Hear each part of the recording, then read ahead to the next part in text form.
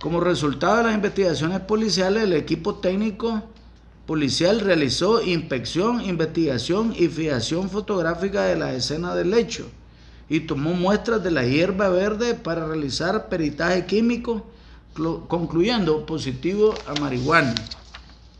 Presentamos evidencia ocupada a los delincuentes, pueden verla en la fotografía, 7.700 plantas de marihuana eh, con más de 2,5 hasta 3 metros de, de altura, 25 libras de marihuana y un arma artesanal. Los delincuentes capturados por el delito de producción y abastecedor de drogas se los presentamos. Ahí están Denis Ariel Betanco García, Félix Lumbí Polanco y Luz María García Rivera.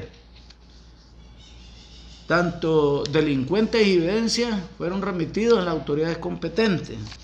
Nuestra institución reitera su compromiso de continuar trabajando para fortalecer la seguridad de las personas, la familia y las comunidades. Muchas gracias, hermano.